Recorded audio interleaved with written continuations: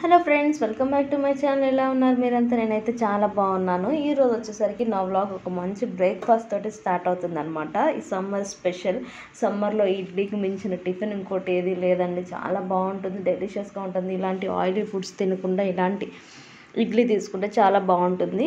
దీనికోసం వచ్చేసరికి బ్యాటర్ నేను ఆల్రెడీ రెడీ చేసి పెట్టాను. ఫస్ట్ వచ్చేసరికి ఈ బ్యాటర్ ఎలా రెడీ చేసుకోవాలంటే ఒక గ్లాసు మినప్పప్పు తీసుకుంటే రెండు గ్లాసులు రవ్వ తీసుకోవాలి. మినప్పప్పు వచ్చేసరికి పొట్టుపప్పు అయితే కొంచెం ఎక్కువ టైం పడుతుంది. అదే గుళ్ళు పప్పు ఉంటాయి కదా పొట్టు లేకుండా ఉంటాయి కదా వాటికైతే తక్కువ టైంలో నానిపోతాయి. గ్రైండ్ చేసుకున్న తర్వాత వీటిని కూడా నానబెట్టి మిక్స్ చేసుకుంటే సరిపోతుంది. నెక్స్ట్ టైం వచ్చేసరికి అది ఎలా కలుపుకోవాలి ఇడ్లీ బ్యాటర్ ఎలా రెడీ చేసుకోవాలో నేను చూపించిపోతున్నాను ఇక్కడ వచ్చేసరికి నేను వచ్చేసరికి కింద ప్లేట్ వేయనండి. ఎందుకంటే ఎన్నిసార్లు వేసినా కూడా పొంగిపోతూ ఉంటాయి ఇడ్లీ అనేది. పొంగితే కింద ప్లేట్లోకి వచ్చి వాటర్ వచ్చేసి మొత్తం ఇడ్లీ అన్నీ పాడైపోతాయి. అందుకని చెప్పేసి నేను ఎప్పుడు కింద ప్లేట్లో వేయను. ఒక టూ ప్లేట్స్ అలా టూ టూ త్రీ ప్లేట్స్ వేస్తాను అనమాట నేను అందరం ఒకేసారి తిన్నాం కాబట్టి మార్నింగ్ బ్రేక్ లంచ్ అయితే అందరం కలిసి తింటాం కాబట్టి ఒకేసారి కుక్ చేసుకుంటాం. బ్రేక్ఫాస్ట్ వచ్చేసరికి చిన్నకన్నా వాళ్ళ డాడీ ఒకసారి తింటారు నేను టీను ఒకసారి తింటాము అందుకని చెప్పేసి ముందు వాళ్ళిద్దరికి రెడీ చేసేస్తాను అనమాట ఇక్కడ వచ్చేసరికి ప్లేట్స్కి నేను ఎలాంటి ఆయిల్ అప్లై చేయలేదు. ఆయిల్ అప్లై చేయకపోయినా కూడా ఇడ్లీ అనేవి అతుక్కోకుండా నీట్గా వస్తాయి. చూసారు కదా ఇలా వేసేసిన తర్వాత. దెన్ నెక్స్ట్ వచ్చేసరికి ఇడ్లీ పాత్రలో వాటర్ వచ్చేసరికి అడుగు ప్లేట్కి కిందకు వచ్చేలాగా పోసుకోవాలి. ఎక్కువ వాటర్ అవసరం లేదు. మనం సిమ్లో పెట్టుకుంటాం కాబట్టి వాటర్ కూడా ఎక్కువ అవసరం లేదు. అదే హైలో పెట్టుకుంటే ఏమవుతుందంటే వాటర్ త్వరగా అయిపోయి ఇడ్లీ అనేవి మాడిపోతాయి అన్నమాట. అందుకని చెప్పేసి వాటర్ అనేవి కొంచెం తక్కువ పోసుకోవాలి. పోసేసుకున్న తర్వాత వీటిని మూత పెట్టేసుకొని జస్ట్ సిమ్లో మీడియం టు హై ఫ్లేమ్ పెట్టేసి మనం కుక్ చేసుకుంటే ఒక టెన్ మినిట్స్లో ఇడ్లీ అనేవి రెడీ అయిపోతాయి. అడుగున ప్లేట్కి కనుక ఇడ్లీ వేసుకోకపోతే హై ఫ్లేమ్లో పెట్టుకున్నా కూడా సరిపోతుంది. అప్పుడు కొంచెం వాటర్ ఎక్కువ వేసుకుంటే సరిపోద్ది. ఎందుకంటే అడుగున ప్లేట్లో ఇడ్లీ పిండి లేదు కాబట్టి ఇడ్లీ అనేవి పొంగకుండా ఉంటాయి. టెన్ మినిట్స్ తర్వాత మన ఇడ్లీ అనేవి ఇలా రెడీ అయిపోయినాయి. చూసారు కదా? నేను ఇక్కడ ఆయిల్ అప్లై చేయకుండా ఇడ్లీ నీట్గా ప్లేట్లు కంటుకోకుండా ఎలా వస్తాయో చూపిస్తాను చెప్పాను కదా?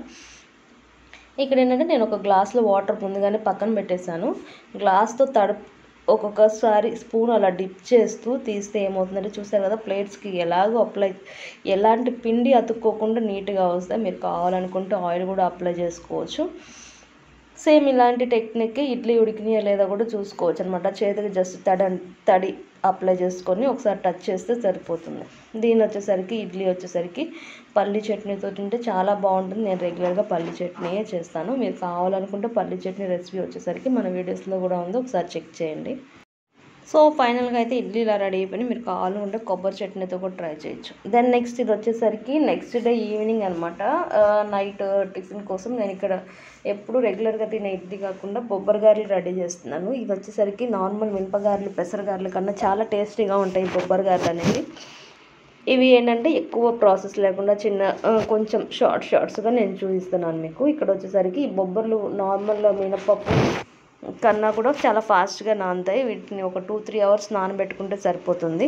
వీటితో పప్పు అలాంటి కర్రీస్ కూడా చేస్తారంట. నెక్స్ట్ ట్రై చేసి అవి కూడా చూపిస్తాను మీకు. దెన్ నెక్స్ట్ వచ్చేసరికి బొబ్బరి గారెలో కాంబినేషన్ వచ్చేసరికి చట్నీ. ఈ చట్నీ కోసం ఫస్ట్ వచ్చేసరికి నేను టమాటా పచ్చిమిర్చి చట్నీ చేస్తున్నాను. ఈ టమాటా పచ్చిమిర్చి చట్నీ అయితే బాగుంటుంది. మీరు కావాలనుకుంటే చికెన్తో కూడా ట్రై చేసే ట్రై చేయొచ్చు. చాలా బాగుంటుంది చికెన్తో కూడా. కానీ ఏంటంటే మేము ఆ రోజు నాన్ వెజ్ తిన్నాం కాబట్టి నేను ఇలా చట్నీ రెడీ చేస్తున్నాను. ఇలా పచ్చిమిర్చి టమాటా. ఈ చట్నీ వచ్చేసరికి కొంచెం పుల్లగా ఉంటే బాగుంటుంది కాబట్టి నేను టమాటాలు ఎక్కువ మిర్చి తక్కువ వేస్తున్నాను. సో ఇవన్నీ ఆయిల్ వేసి ఫ్రై చేసేసి పక్కన పెట్టాను. దీంట్లో వచ్చేసరికి వేడి మీద చింతపండు కూడా వేసేసుకుంటే ఏమవుతుందంటే చింతపండు మెత్తగా నానిపోతుంది. నానిపోయి మనం మిక్సీ వేసుకునేటప్పుడు బాగుంటుంది. అలాగే రోట్లో నూరుకునే వాళ్ళకైతే ఇంకా టేస్టీగా ఉంటుంది చట్నీ అనేది. ఇవన్నీ ఏవైతే మనం పెట్టాం కదా ఇవన్నీ చల్లారేంత వరకు పక్కన పెట్టేసేద్దాం. దెన్ నెక్స్ట్ వచ్చేసరికి ఇక్కడ సాఫ్ట్గా అన్నంలో కాదు మనం తీసుకునే టిఫిన్లో కాబట్టి కొంచెం సాఫ్ట్గా వేసుకుంటే బాగుంటుంది. ఇక్కడ వచ్చేసరికి ఏవైతే మనం వేయించి పెట్టాము కదా పచ్చిమిర్చి టమాటా ఇవన్నీ వేసాను. దెన్ నెక్స్ట్ జీలకర్ర చిన్నపాయ కూడా వేసాను. ఇవన్నీ వేసి మనం ఒకసారి గ్రైండ్ చేసుకుంటే సరిపోతుంది. మీరు కావాలి అనుకుంటే ఇదే స్టేట్లో మీరు పుదీనా కూడా వేసుకోవచ్చు. పుదీనా వేస్తే మంచి ఫ్లేవర్ వస్తుంది. నా దగ్గర పుదీనా లేదు కాబట్టి నేను వేయలేదు. ఈ దశలో మీరు కొంచెం సాల్ట్ కూడా వేసుకొని గ్రైండ్ చేసుకుంటే సరిపోతుంది. సో ఫైనల్గా అనేది చట్నీ వచ్చేసి ఇలా రెడీ అయిపోయింది. చూసారు కదా సాఫ్ట్గా వేసాను టిఫిన్లో కాబట్టి. అదే రైస్లోకి అయితే ఏమవుతుందంటే కొంచెం పలుగ్గా వేసుకుంటే బాగుంటుంది. దీనికి ఎలాంటి తాలింపు పెట్టాల్సిన అవసరం లేదండి. అదే బీరకాయ చట్నీ ఇలాంటి వాటికైతే తాలింపు పెట్టుకోవాలి. ఇది నార్మల్ టమాటా పచ్చిమిరపకాయ చట్నీ కాబట్టి తాలింపు లేకుండా కూడా బాగుంటుంది. మీరు కావాలి అనుకుంటే వేసుకోవచ్చు.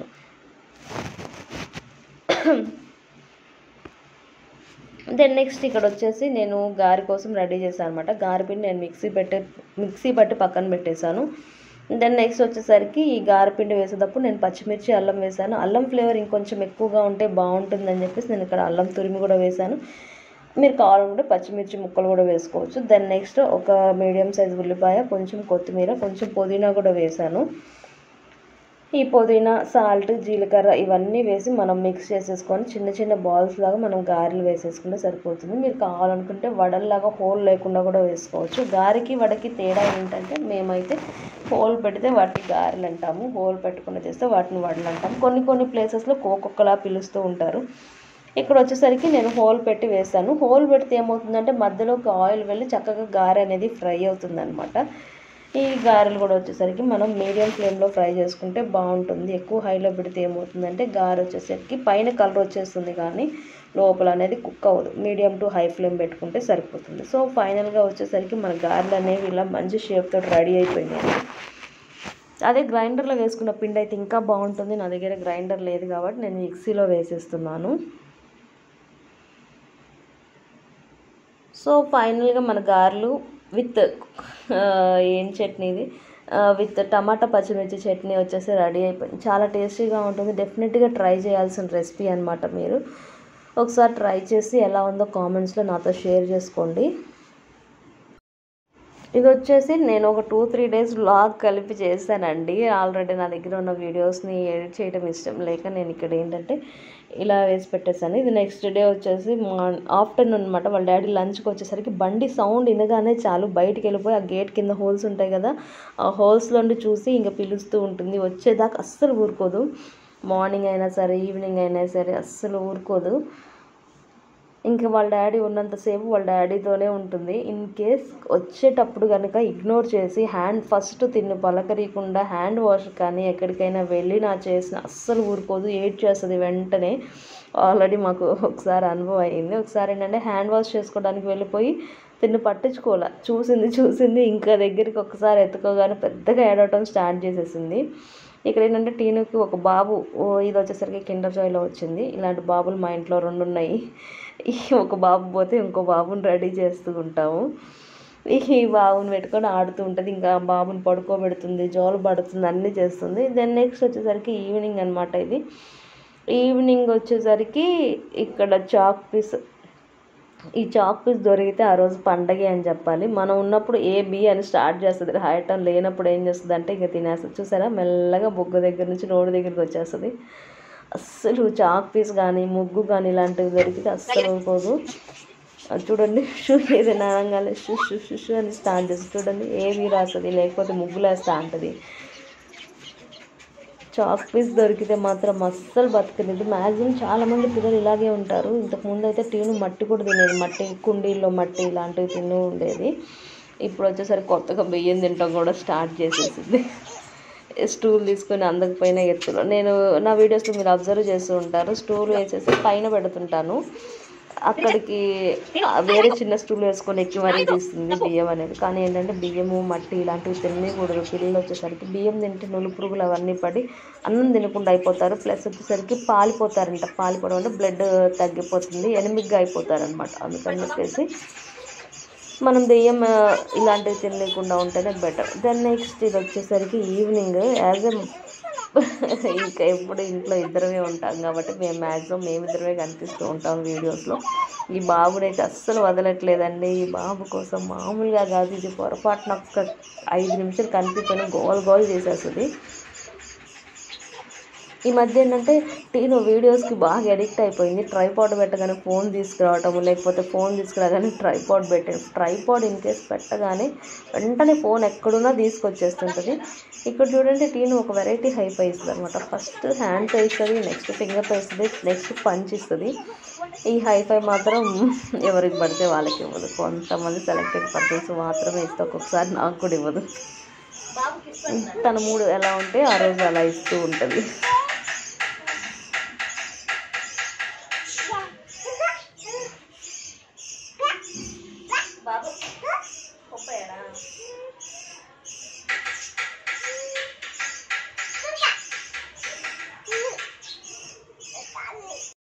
సౌండ్ అయితే విన్నారు కదా అది వచ్చేసి మా ఇంటి ముందు పానీపూరి సౌండ్ అనమాట గుంటూరులో వచ్చేసరికి పానీపూరి టంగ్ టంగ్ అని మోగించుకుంటూ వస్తారు. కొన్ని కొన్ని చోట్ల స్టాల్స్ ఉంటాయి.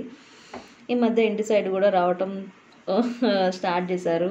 హోమ్ డెలివరీ అనమాట ఆ పానీపూరి వాడు వచ్చేసరికి మా ఇంటి ముందే ఇంకా కొడుతూ ఉంటాడు. టీను వచ్చేసరికి రెగ్యులర్ కస్టమర్. టీను వెళ్ళేదో కొడతానే ఉంటాడు. ఇన్ కేస్ టీను తినకపోతే మళ్ళీ రెండో రావడం రెండో రౌండ్ రావడం స్టార్ట్ చేశాడు. అందుకని చెప్పేసి కానీ ఎక్కువ తినిపించకుండా ఉండాలి అంటే ఏం చేస్తానంటే పానీపూరి వచ్చే అతను వచ్చే టైంకి ఏం చేస్తానంటే లోపలికి తీసుకెళ్ళి డోర్ వేసేస్తున్నాను. లేకపోతే ఏంటంటే ఇన్ కేసు వాడు కనుక కనిపించాడు అంటే అది తినకుండా అస్సలు వదలదు. అందుకని చెప్పేసి నేను ఏం చేశానంటే తనకు సగం పెడతాను. నేను ఎక్కువ తింటాను. మ్యాక్సిమం అంతే చేస్తాను అనమాట కానీ ఏంటంటే అప్పుడప్పుడు కొన్ని కొన్ని ఇలాంటివి కూడా ట్రై చేయాలి. లేకపోతే ఏంటంటే ఎవరైనా తింటూ ఉన్నారనుకోండి పిల్లలు కదా వాళ్ళని చూస్తూ ఉంటారనమాట అందుకని చెప్పేసి ఒకసారి అడగగానే వాళ్ళకి ఒకసారి టేస్ట్ చూపించామనుకోండి నచ్చితే తింటారు. నెక్స్ట్ టైం లేకపోతే వాటిని అవాయిడ్ చేస్తారనమాట అందుకని చెప్పేసి నేను ఇలా ఎప్పుడో ఒకసారి ఎప్పుడో ఒకసారి కదలండి ఈ మధ్య రోజు అయిపోతుంది. రోజు తినిపిస్తున్నాను పానీపూరి. చెప్పాను కదా నేను ఓ టెన్ రూపీస్ తీసుకున్నాను అనుకోండి. ఫర్ ఎగ్జాంపుల్ టెన్వి తీసుకుంటే తనకి టూ పెడతా మిగిలిన నేను తినేస్తా. అంటే ఇక్కడ మా గుంటూరులో సిక్స్ ఇస్తారు. సిక్స్ ఇస్తారు కాబట్టి నేను ఫోర్ తింటాను తనకి టూ పెడతాను. దెన్ నెక్స్ట్ ఇక్కడ వచ్చేసరికి మా ఈవినింగ్ రొటీన్ వచ్చేసరికి పానీపూరి తిన్న తర్వాత మా ఇంట్లో టీవీ వచ్చేసరికి ట్వంటీ ఫోర్ అవర్స్ మోగుతూనే ఉంటుంది. ట్వంటీ ఫోర్ అవర్స్లో మేము చూసేది వచ్చేసరికి ఓన్లీ రైమ్స్ మాత్రమే. ఇంకా వేరేదేం పెట్టము. వీడియో వచ్చేసరికి యూట్యూబ్ ఉంటుంది కదా టీవీకి వైఫై కనెక్షన్ పెట్టించేసాము ఫోన్ ఎక్కువ అవాయిడ్ చేయటం కోసం మేము ఇక్కడ టీవీలో రైమ్స్ పెట్టేసి నేను వదిలేస్తాను అనమాట అలా రైమ్స్ పెట్టడం వల్ల ఏమవుతుందంటే ఫోన్ అడగట్లేదు. ఎప్పుడో ఒకసారి అడుగుతూ ఉంటుంది. ఇలా ఫోన్ ఏంటంటే అండర్ ఏజ్ ఫైవ్ ఇయర్స్లో పిల్లలకి ఇవ్వటం వల్ల ఏంటంటే మెల్లకన్ను వచ్చే ఛాన్సెస్ ఎక్కువ ఉంటాయి. ఇప్పుడు మోస్ట్ ఆఫ్ ద పర్సన్స్ ఇప్పుడు వచ్చేసరికి టెన్ మెంబర్స్లో ఒక పిల్లలకి వచ్చి ఒక పిల్ల కానీ పిల్లోడికి కానీ వచ్చేసరికి ఖచ్చితంగా మెల్లకన్ను ఉంటుంది. దయచేసి పిల్లలకి ఫోన్ ఇవ్వకండి. ఫైవ్ ఇయర్స్ టెన్ ఇయర్స్ పిల్లలకి అది వాళ్ళు ఎడిక్ట్ అయిపోవడం ఒకటే కాకుండా ప్లస్ వచ్చేసరికి మెల్లకన్ను అని చెప్పాను కదా మెల్లకన్ను వచ్చే ఛాన్సెస్ ఎక్కువ ఉంటాయి. ప్లస్ వచ్చేసరికి ఈ ఫోన్లో గేమ్స్ యూజ్ చేయటం వల్ల వచ్చేసరికి అదేంటంటే ఒకటే వేలో వాళ్ళు సెట్ చేస్తారు కాబట్టి మన బ్రెయిన్ అలాగే ఆలోచిస్తూ ఉంటుంది. బ్రెయిన్ అనేది స్లో అయిపోతుంది. ఇప్పుడు చెప్పారు కదా ఫాస్టెస్ట్ బ్రెయిన్ వచ్చేసరికి కంప్యూటర్ కన్నా మ్యాన్దే అండి. స్లో అయిపోతుంది. ఇలా యూజ్ చేయటం వల్ల మనం ఇంకా స్లో అయిపోతాం. అందుకని చెప్పేసి పిల్లలకి వచ్చేసరికి ఇవ్వకండి. మ్యాక్సిమం అవాయిడ్ చేయండి ఫోన్స్ అనేవి. ఇది వచ్చేసరికి టీను సింహాసనం అనమాట ఈ చైర్ని పడేస్తుంది కూర్చుంటుంది. మ్యాక్సిమం ఏంటంటే ఆ చైర్ కొనుక్కొచ్చింది కూడా ఆ టీవీ చూడటం కోసం. టీవీ దూరంగా ఉంటుంది కాబట్టి ఇక్కడ చైర్లో కూర్చొని ఎదురుగా కూర్చొని చూస్తూ ఉంటుంది. చూడండి ఆ చైర్లో ఎవరు కూర్చున్నా ఊరుకోదు. ఇన్ కేస్ నేను కూర్చున్నా కూడా ఊరుకోదు.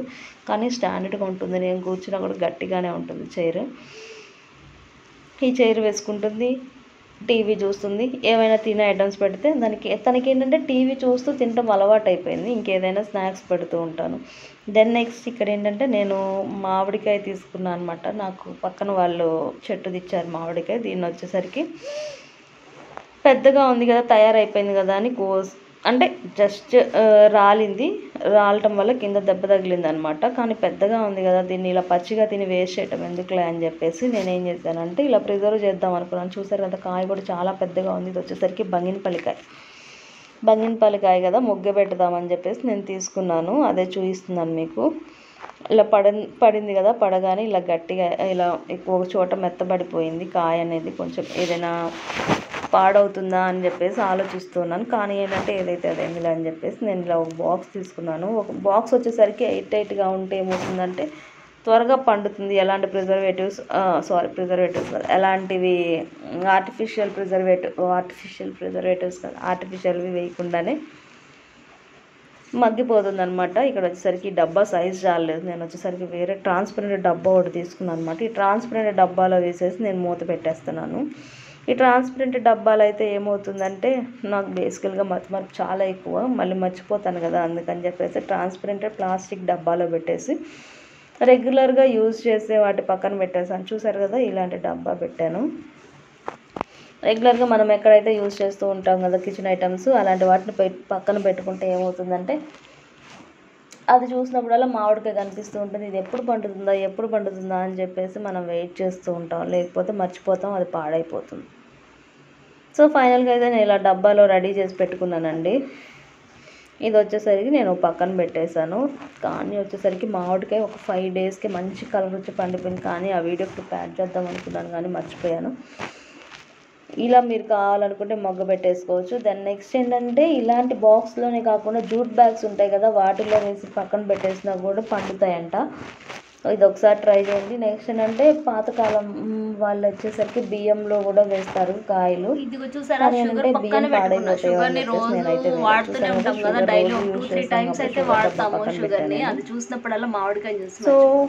అయితే నేను మామిడికాయని ఇలా మగ్గ పెట్టడానికి నేను ప్లాన్ చేసి రెడీ ఈ సీజన్లో. వచ్చేసరికి నేను ఇక్కడ వచ్చేసరికి నేను తెలంగాణ స్పెషల్ బీరకాయ పచ్చికారం ఎగ్ కర్రీ నేను చేయించబోతున్నాను. చాలా టేస్టీగా ఉంటుంది. డెఫినెట్గా ట్రై చేయండి. ఒకసారి ట్రై చేసి ఎలా వచ్చిందో కామెంట్లో నాకు షేర్ చేసుకోండి.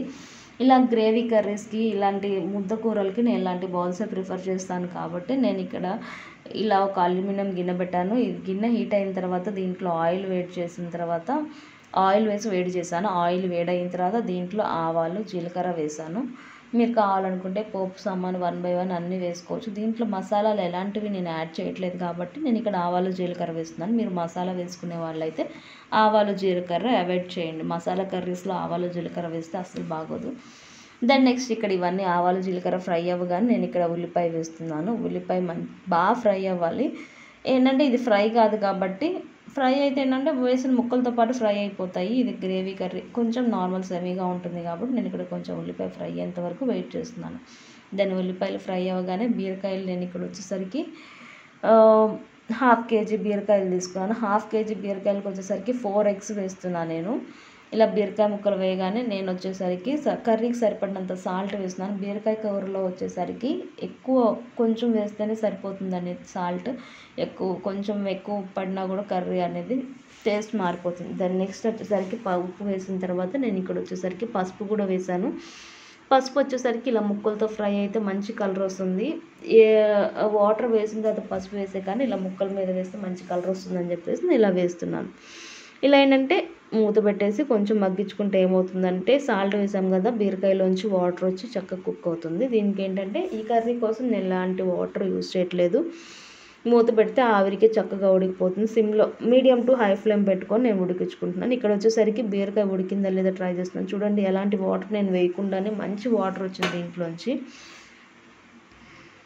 చూసారు కదా ఆల్మోస్ట్ బీరకాయ కుక్ అయిపోయింది. ఇక్కడ వచ్చేసరికి నేను పచ్చిమిర్చి పేస్ట్ వేస్తున్నాను. పచ్చిమిర్చి ఉప్పు ఒక వెల్లుల్లి ఒక నాలుగైదు రబ్బలు వెల్లుల్లి వేసాను అది కూడా వేసేసి ఈ స్టేజ్లో కుక్ అయితే సరిపోతుంది. తర్వాత లాస్ట్లో వేస్తే ఏమవుతుందంటే పచ్చిమిర్చి కొంచెం పచ్చి పచ్చిగా అనిపిస్తుంది కాబట్టి నేను ఇప్పుడు ఈ టైంలో వేస్తున్నాను. ఇది కొంచెం సేపు నేను వేసి మగ్గిస్తున్నాను అనమాట దెన్ నెక్స్ట్ దీంట్లో వచ్చేసరికి కొంచెం అల్లం వెల్లుల్లి పేస్ట్ వేసానండి ఎక్కువ మసాలా వేయకుండా మీరు కావాలనుకుంటే అల్లం వెల్లుల్లి పేస్ట్ కూడా అవాయిడ్ చేసుకోవచ్చు. ఇది వచ్చేసరికి కొంచెం వాటర్ వేస్తున్నాను ఎందుకంటే గిన్నె కొన్ని మసాలా ఉంటుంది కదా అదా వేస్ట్ చేయడం ఇష్టం లేక కొంచెం గిన్నెలో వాటర్ వేసేసి జస్ట్ ఒక హా టీ గ్లాస్లో హాఫ్ గ్లాస్ హాఫ్ కూడా వేయలేదు కొంచెం తగ్గించే వేసా అని చెప్పాలి. ఈ వాటర్తో మొత్తం ఎగిరేంత వరకు మనం వెయిట్ చేద్దాం. చూసారు కదా బీరకాయ అనేది ఉడికిపోయింది. దెన్ నెక్స్ట్ ఫైనల్గా ఎప్పుడైతే కూర ఎండ్ అయిపోతుంది అన్న టైంలో మనం వచ్చేసరికి ఎగ్స్ కొట్టేసుకోవాలి. బీరకాయ మొత్తం ఆల్మోస్ట్ కుక్ అయిపోవాలి. ఇప్పుడు ఇంత వాటర్ ఉంది కదా ఎగ్స్ వేయగానే మొత్తం కరిగిపోతుంది. చూసారు కదా ఇలా ఒకసారి స్ప్రెడ్ చేసుకోవాలి. చెప్పాను కదా నేను ఫోర్ ఎగ్స్ వేసాను టూ ఎగ్స్ ఎల్లో మొత్తం మెల్ట్ అయిపోయింది. ఇలా వేసేసిన తర్వాత మూత పెట్టి మొత్తం మగ్గించుకోవాలి. చూడండి ఇందాక వాటర్ వేసాను ఈ వాటర్ మొత్తం ఎగ్ పీల్చేసింది మొత్తం డ్రై అయిపోతుంది. ఇలా కొంచెం ఎగ్ ఫ్రై ఎగ్ ఉడికితే చాలండి. ముందే అందుకని ఎగ్ వేసుకోకూడదని చెప్పాను. ఎగ్ వచ్చేసరికి త్వరగానే ఉడికిపోతుంది కాబట్టి లాస్ట్లో వేసుకుంటే సరిపోతుంది. సో ఫైనల్గా వచ్చేసరికి మన కర్రీ ఆల్మోస్ట్ రెడీ అయిపోయినట్టు దీంట్లో వచ్చేసరికి నేను కొంచెం ధనియాల పౌడర్ వేసాను మీరు కావాలనుకుంటే ఇది అవాయిడ్ చేసుకోవచ్చు. చూసారు కదా ఆయిల్ కూడా కావాలనుకుంటే కొంచెం వేసుకోవచ్చు ఈ స్టైల్లో. నాకైతే ఈ ఆయిల్ సరిపోయింది. మొత్తం కర్రీ అంతా ఉడికేసరికి ఆయిల్ వదిలేస్తుంది. సో ఫైనల్గా వచ్చేసరికి బీరకాయ కర్రీ రెడీ అయిపోయిందండి. ఈ రెసిపీ మీకు నచ్చుతుంది డెఫినెట్గా ట్రై చేయండి. ఈ వీడియో మీకు నచ్చినట్లయితే లైక్ చేయండి షేర్ చేయండి కామెంట్ చేయండి. మళ్ళీ నేను మిమ్మల్ని నా నెక్స్ట్ వీడియోలో మీట్ అవుతాను. అంతవరకు బాయ్.